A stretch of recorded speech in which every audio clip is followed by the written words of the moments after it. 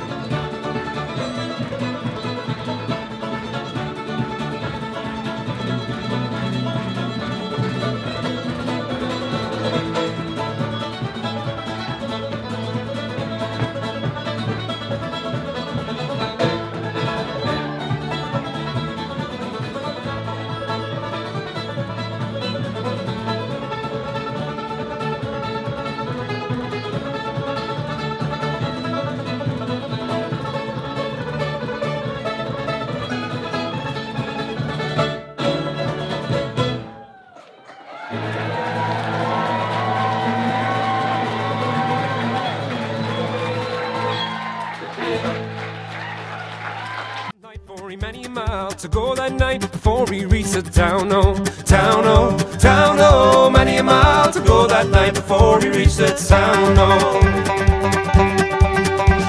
He ran till he came to the farmer's den and